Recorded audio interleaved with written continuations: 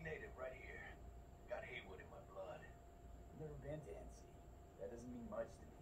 So, imagine a place where everyone's like your bro or sis. Or distant cousin, at least. I think I understand. You don't have to like each other, but it's family.